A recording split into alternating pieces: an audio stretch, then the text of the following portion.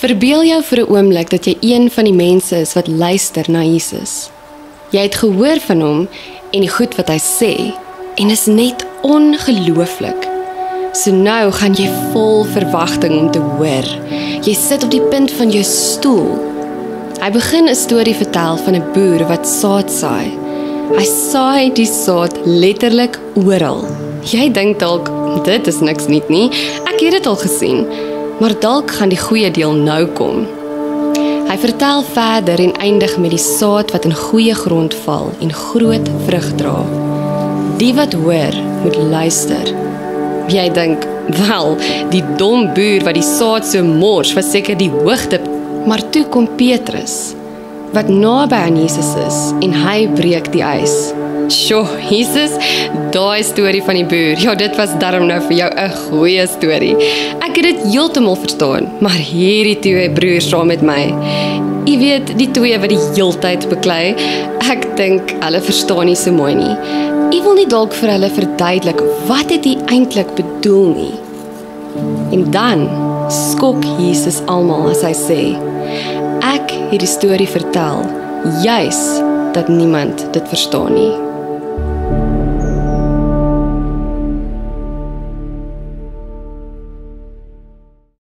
Hierdie storie krap amper so 'n bietjie ons prentjie van Jesus om.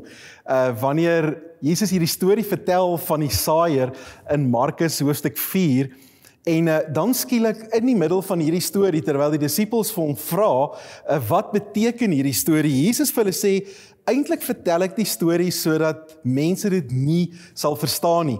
Nou uh, as ons lees in Markus 4, dan uh, sien ons dat uh, dat die disippels alleen saam met Jesus, ehm um, het die 12 na hom toe gekom en hom uitgevra oor die gelykenis. So so duidelik het hulle ook nie die gelykenis verstaan nie. En uh, dan sê Jesus hierdie volgende, hy sê aan julle is die insig in die geheim van die koninkryk van God gegee, maar vir die wat daar buite is, bly alles net gelykenisse. Nou en dan haal Jesus 'n stuk aan uit die Ou Testament wat eintlik 'n 'n 'n baie negatiewe aanhaling is. Hy hy hy haal aan uit Jesaja 6 vers 9 tot 10 en Jesus sê die volgende woorde. Hy sê hulle kyk en kyk en tog sien hulle nie. Hulle hoor en hoor en tog verstaan hulle nie dat hulle nie miskien hulle moet bekeer en vergewe word nie. Nou Hierdie aanhaling van Jesus is eintlik die sleutel tot die hele storie van die saaier. Want wanneer Jesus hierdie storie vertel wat ons so goed ken, uh van die saaier wat uitgaan en die saad val op die pad en dit val in die klippe en dit val tussen die vuil goed en uh Jesus vertel hierdie hierdie storie en dan verwys hy na hierdie gebeure van Jesaja hoofstuk 6. Nou wat gebeur in Jesaja 6? Jesaja 6 is hierdie fenominale prentjie waar Jesaja letterlik in die troonkamer van God inkyk en dan sien hy hoe daar gebeure plaasvind. En uh, in hierdie troonkamer van God is dit God die Vader wat uitroep en sê wie sal ek stuur? Wie sal my boodskapper wees? En dan Jesaja wat sy hand opsteek en sê Here stuur my en dan aan die einde van hierdie gedeelte kom dit waar Jesaja dan hierdie woorde sê wat sê die hy het gegaan en hy die woord van die Here gebring maar mense het gekyk en gekyk en hulle het nie gesien nie mense het gehoor en hoor maar tog het hulle nie verstaan nie en uh, nie een van hulle het hulle bekeer en hulle is nie vergewe nie. Nou, die Ou Testament werk so. Die Ou Testament opgesom in een paragraaf is dat God se mense wat God gekies het, ehm um, het afgedwaal van hom.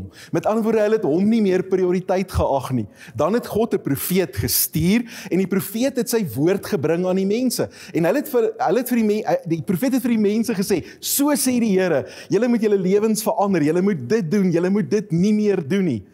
En dan elke keer wanneer die profeet die woord gebring het, het die mense op verskillende maniere gereageer. En uh, dikwels was dit 'n uh, 'n nie 'n goeie reaksie nie. Nou net om vinnig gou die konteks hiervan te verstaan. En miskien het jy dit in die lockdown beleef. As jy dalk so 'n bietjie in die lockdown ergens 'n moeilike dag gehad het, so 'n bietjie in 'n slegte by was en iemand in jou huis kom na jou toe op daai dag wat jy in 'n slegte by is en sê vir jou, jy's in 'n slegte by. Jy sal jou houding moet verander. Nou ek weet nie in jou huis nie, maar in my huis was daai gewoonlik dan bietjie meer intense oomblikke, want die bottom line daarvan is ek wil dit nie hoor nie. Al is dit waar, wil ek dit nie hoor nie. Sien die storie van die profete in die Ou Testament was letterlik 'n storie van uitnodiging. Van God wat elke keer na sy mense toe gekom het en hulle dan uitgenooi het en gesê het: "Kom na my toe, kom dat ek julle lewens kan verander. Luister na my woord sodat dit julle lewens kan impakteer en julle op die plek kan leef wat ek weet vir julle die heel beste gaan wees." Maar elke keer wanneer 'n profeet gekom het, dan was daar 'n daar was daar 'n reaksie van die volk. Somstyds was dit letterlik soos saad wat op die grond geval het, uh, op die pad. Ehm um, dit het geen effek gehad nie. Dit was net opgetel deur die voëls. Die die die volk het het nie eers gehoor wat die Here sê nie. Dis amper soos wat uh, ek dalk 'n partykeer oor my vrou gevoel het in die lockdown, um, wat jy net gewens het. Ek wens ek het nie gehoor wat wat sy nou sê nie van hierdie kas wat gepak moet word en uh, hierdie hierdie portret wat opgehang moet word en hierdie ding wat moet heel gemaak word. Ek wil dit nie hoor nie. Aan ander kere het die profeet die woord van die Here gebring en die volk het gereageer, maar dit was net vir 'n klein rukkie en en hierdie klein rukkie was hulle bly en dan het hulle maar net weer teruggekeer na die ou pad wat hulle altyd gestap het. Ander kere het die profeet gekom en hy het die woord van die Here met die volk gedeel en dan dan het hulle so so bietjie uh, daarbey gestieker. Hulle het hulle het so bietjie saam gejourney, maar dan om net op 'n stadium weer oorweldig te word deur allerlei goed in die lewe wat vir hulle belangrik was en hulle het weer vergeet van die woord van die Here. Elke profeet het gekom met 'n uitnodiging van God. En Jesus doen presies dieselfde. Jesus kom en hy kom met hierdie uitnodiging van God. Maar wat maak Jesus se storie dan anders? Wat sal maak dat wanneer Jesus die storie vertel, dit nie opeindig soos die profete nie? En ons gaan vandag so 'n bietjie met vars oë na hierdie storie van die saaier kyk om te sien hoe Jesus die antwoord gee oor hoe 'n mens dan kan verander deur die woord wanneer God met 'n mens praat.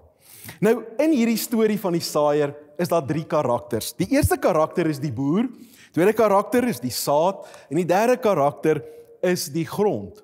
Nou ek vermoed die eerste luisteraars wat na Jesus geluister het, sommer dadelik hierdie ding opgetel in Jesus se storie. Daar was klein, daar was klein afwykings in Jesus se storie van wat normaalweg die storie sou wees. As iemand vertel van 'n boer, um, dan sou jy daar 'n sekere storie verwag, maar Jesus het sulke klein afwykings.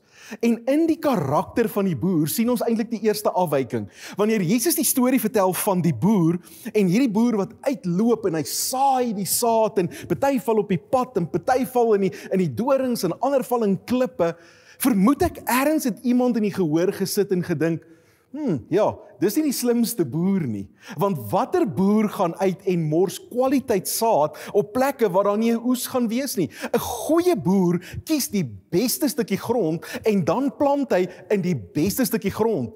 Hy mors nie die saad nie. Maar sien wat Jesus in hierdie storie verduidelik, is juis hoe God in die Ou Testament gekom het deur die profete en hy het elke keer die saad van sy woord kom saai. Hy het elke keer kom praat. Meeste van die tyd was die volk op 'n plek waar hulle nie gereken sou word as goeie grond nie. Maar in die storie, in die karakter van die boer, van die saaier, sien ons letterlik hoe God se hart ingesluit is. Ons sien God se hart geopenbaar in die hart van die boer. Want die boer meet nie die grond nie. Hy toets nie eers die grond nie. Onvoorwaardelik saai hy sy woord, want die boer weet wat die kwaliteit van die saad is sien vir elke Ou Testamentiese hoorder was hierdie 'n radikale stuk nuus. Want die Ou Testament het gepraat van 'n woord wat beteken dat ek God moes tevrede stel. Ek moes by al die bepalinge van die wet hou sodat God my sou aanvaar. En hier kom vertel Jesus van 'n boer wat eintlik nog altyd besig was om net onvoorwaardelik die liefde van sy woord uit te saai oor mense wat dit nie verdien nie. En skielik kon die hoorder vir die eerste keer dalk hoor en verras word deur 'n waarheid van 'n God wat baie meer agter ons aan is as wat ons ooit agter hom sal aanwees. Skielik word die prentjie geopenbaar van 'n God wat my soek, meer as wat ek hom soek, van 'n God wat hom laat vind, meer as wat ek ooit hom sou soek, van 'n God wat agter my lewe aanjaag met sy liefde en soek na my as 'n individu. Tweede karakter is die saad.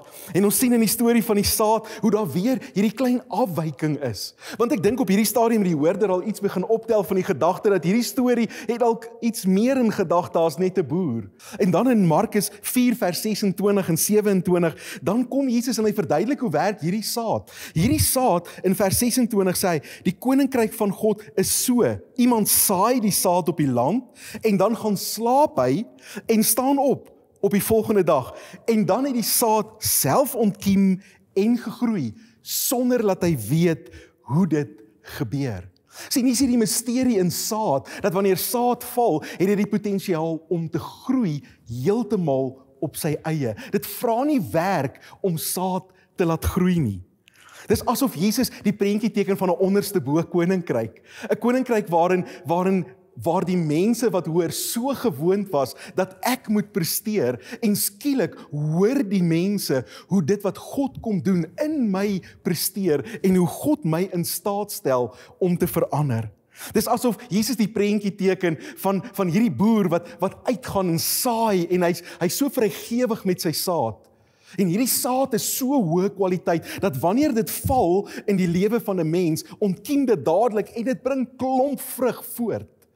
En dis asof die hoorder dan die vraag moes vra, maar wat is dan nog meer nodig? As die as die boer so vrygewig is met sy saad, as die as die saad so hoë kwaliteit is, wat is nodig dat ek kan verander? En dan kom Jesus by die groot vraag van hierdie storie. En dit is watse tipe grond is ek en jy? sien dis net die grond wat met ander woorde die kwaliteit van die vrug kan bepaal want die boer is vrygewig die saad is onbeperk in sy vermoë. En wat 'n soort wat 'n soort grond is jy?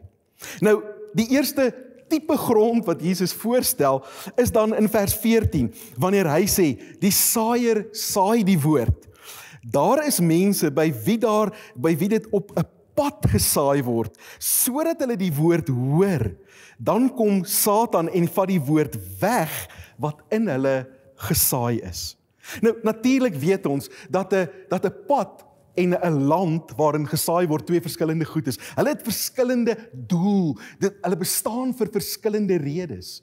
En Jesus speel met hierdie gedagte dat erns die grond van my lewe alreeds aangewend kon wees vir 'n ander doel, 'n geboude pad en nie meer 'n oopste grond is waarop gewerk kan word nie. Dis asof ehm um, hierdie hierdie struikelblok een is van intellektuele aard. Ek kan onthou in my studente dae terwyl ek studeer het en teologie geswat het en besig was met die klassieke tale, het ek hierdie oomblik gehad waar ek so gekonfronteer was met die met die waarheid van die Bybel en die egtheid van die Bybel. En as gevolg van so baie inligting wat ek vroeër nie gehad het nie, as 'n as 'n goeie gereformeerde seun groot geword het dat die Bybel is heilig en die woord van God en skielik doen ek tekskritiek en ek ontdek daar's foute in die Bybel en daar's verskillende vertalings en ek raak verward en deurmekaar mekaar en eendag stap ek so af in lovers lane daar op die pik. En dit voel asof die konfrontasie in my hart is. Here ek kan nie meer u woord glo nie. Ek lees die Bybel maar daar's nie plek dat die Bybel impak in my lewe kan maak nie. Dis asof iets anders in die plek kom staan het van waar die woord altyd gegroei het. En so kan in ons lewens daar daar goed ontstaan wat ons ontoeganklik maak vir die woord, wat die oppervlak van ons lewe hard maak wanneer ons sê, weet ek wou nie eintlik kerk toe gaan nie, maar ek is maar hiernatoe gesleep. Ek sit nou hier voor my TV en ek ek kyk hierdie uitsending maar maar ek wou dit nie regtig waar doen nie. Of nog erger, ja, hierdie preek, een van die saaier, ek het hom al baie keer gehoor. Uh, hierdie is 'n bekende storie man, daar kan niks nuut vir my wees nie. Hoor jy hoe dit toemaak? hoe dit toemaak vir die potensiaal wat in die saad lê en die vrug wat daaruit kan voortkom. Dis asof Jesus sê die pad gaan moet opgebreek word. Dis die enigste manier wat daar 'n vrug op hierdie stuk grond kan ontstaan. Die tweede deel wat Jesus gebruik is dan die die storie van die klipprige grond. En die saaier gaan uit en ons lees in vers 16, ehm um, lees ons uh, daar is mense by wie daar soos op klipbanke gesaai word sodat hulle die woord hoor, neem dit aan met blydskap. Hulle laat dit egter nie in hulle lewe wortel skiet nie en dit hou nie lank nie. As hulle daarna ter wille van die woord verdruk of vervolg word, word hulle gou afvallig. En ons sien hoe die prentjie is van saad wat val en daar's daar's ietsie wat wortel skiet, maar nie baie diepte nie. En dan as gevolg van 'n klipbank en en baie hitte, hierdie ou plantjie maar net doeteenvoudig verwelk. En dit is amper asof die ons die prentjie sien van emosionele struikelblokke, van hoe ons um opgewonde kan wees en en wanneer ons 'n nuwe waarheid uit die woord ontdek het of ons 'n nuwe preek gehoor, ons opgewonde is daaroor. Maar omdat ons nie erns geroet is nie, omdat ons nie erns diep gewortel is nie, het dit nie 'n kans om te groei nie. Ek wonder of Jesus hier verduidelik dat dit belangrik is dat ons in community van ander gelowiges moet leef, dat ons in verhouding met ander gelowiges moet leef. Ons hou so van die woord community in Doxotay of van dit van dit dit dit dit, dit verduidelik iets van ons saam wees. Hoe dankbaar is ek in my eie lewe nie dat daar tye in my lewe was waar die Here se woord gegroei het en en en daar was vlak grond en en hierdie hierdie hierdie woord het begin doodgaan. En ander mense met wie ek in verhouding staan lief genoeg vir my was om my oorkant 'n koffietafel neer te sit en te sê Dani stop jou nonsens. Jy mis dit. En iemand kom help dit om die klippe uit die pad uit te kry sodat daar dieper wortels in my lewe kan wees waar binne die woord kan groei. Dis asof Jesus sê Iemand gaan die klipperige grond moet skoonmaak. Iemand gaan die klippe moet wegvat sodat die grond geskik kan wees dat daar saad gesaai word. En dan die laaste ene is die die doring of vuil goed deurtrekte stukkie grond. In die Bybel sê in vers 18, hy sê daar is mense by wie daar soos tussen onkruid gesaai word. Dis hulle wat die woord hoor, maar die sorges van die lewe en die verleiding van rykdom en die begeertes na allerlei dinge kom op en verstik die woord en dit bly sonder vrug. sien Jesus verwys hier na na iets van van dalk geestelike struikelblokke van goed wat kom staan in in prioriteit teenoor die Here. Hy noem dit ons bekommernisse, die goed waaroor ons bekommerd is wanneer ons hom buite rekening laat. Hy noem dit die goed wat eh, wat ons opgewonde maak, wat ons geniet. Die die sorges van die lewe en die genietinge van die lewe kan so maklik kom en hierdie woord wat geval het kom verswelg. En dit is asof Jesus die prentjie teken om te sê iemand gaan hierdie land moet skoonmaak. Iemand gaan sy prioriteite moet aanspreek. Iemand gaan moet vra vra oor wat is belangrik en wat is nie belangrik nie. In my eie lewe was ek al soveel keer gekonfronteer in my finansies in hierdie area waar ek die woord van die Here hoor en ek weet dis die waarheid dat hy my voorsiening is, maar dan wanneer dit kom by die gee van my tiende, dan was ek skielik onseker en het dit gevoel of die of die sorges van die lewe hierdie waarheid verswelg en skielik weet ek nie kan ek dit doen? Kan ek die Here genoeg vertrou? Dank die Here vir kere wat daardie boldness in 'n mens se hart is en die Heilige Gees jou kom help in daardie oomblik. En waar jy sê ek vertrou die Here meer en dit is vir my belangriker om aan hom gehoorsaam te wees as aan enigiets anders. Dis belangriker om getrou te wees aan aan aan aan sy woord as wat ek antwoord aan my eie vrese en my eie sorges. Dis asof Jesus sê iemand gaan die dorings moet kom uithaal. Iemand gaan die prioriteite moet kom rondskuif. En dan die goeie grond. En dis asof Jesus dit so maklik maak. Vers 20. Hy sê en dan is daar die mense by wie daar soos op goeie grond gesaai word, wat die woord hoor en aanvaar en vrug voortbring 30, 60 en sommige 100voudig. So eenvoudig. Die saad wat val, die woord wat aanvaar word en dan 'n groot vrug. Jesus daag ons uit dat dit nie net gaan oor groei nie. As jy gedink het dis belangrik om net geestelik te groei, daag Jesus ons hier uit om te sê nee, groei is nie die belangrikste nie. Vrug dra is baie belangriker as om net groot te groei. Wat doen Jesus? Wat maak Jesus se uitnodiging anders? Wat maak Jesus se uitnodiging anders as 'n Jesaja en 'n Jeremia, as 'n Esegiel? Wat wat maak Jesus anders as al die profete? Sien hierdie is die belangrike ding. Elke profeet het 'n uitnodiging na God gehad.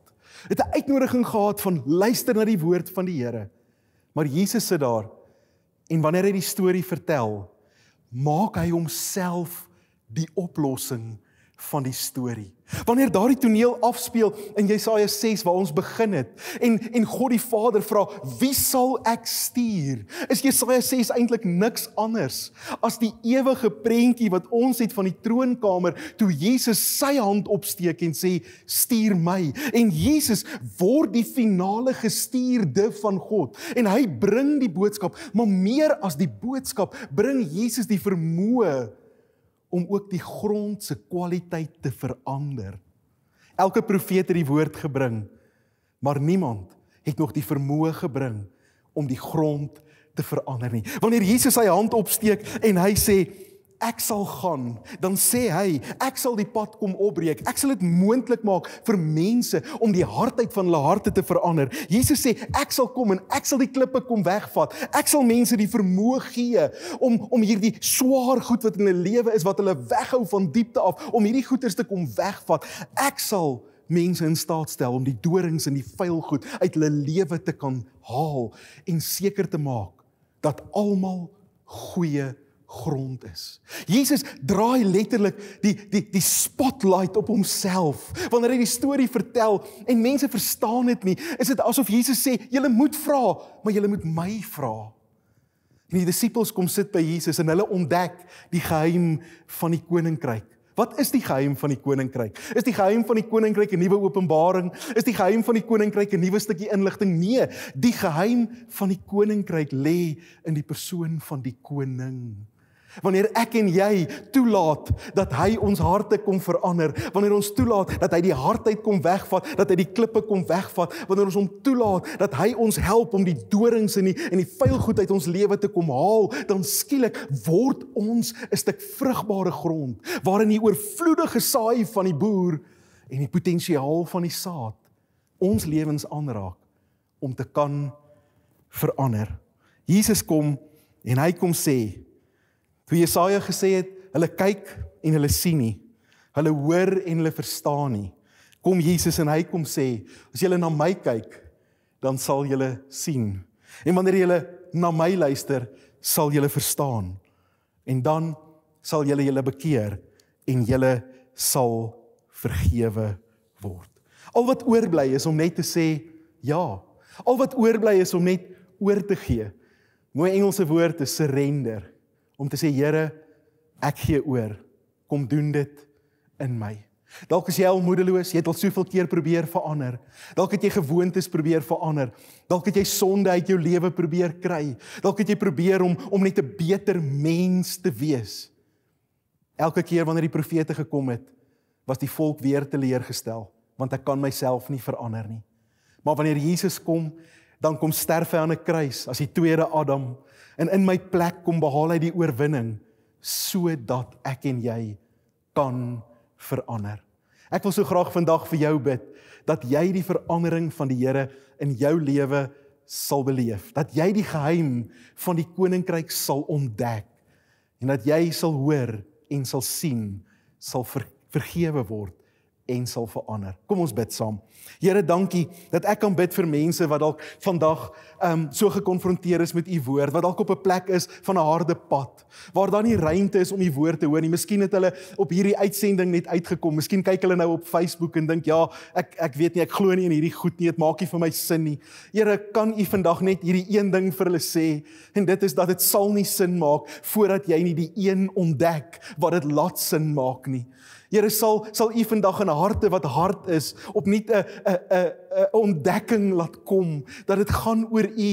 Dit gaan oor 'n ontmoeting met Jesus voordat verandering kan gebeur.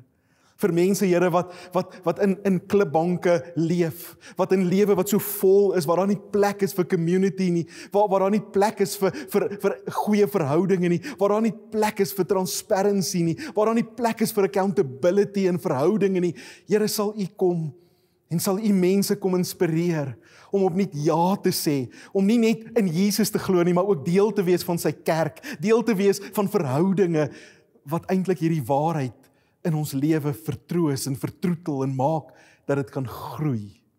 En vir mense wat deur die sorges van die lewe oorgeneem word. Vir mense wat sê ek is so bekommerd oor my finansies, hoe kan ek die Here se woord glo? Wat sê ek is so bekommerd hieroor of ek is so opgeneem in al die prioriteite van my lewe. Here, ons kan nie uit onsself verander nie. Sal U kom en sal U ons help, U wat die oorwinning behaal het om te kan verander. Dankie dat U ons uitnooi en dankie dat dit so eenvoudig is as om net te sê ja, Here, doen dit in my. Bid dit in Jesus naam. Amen.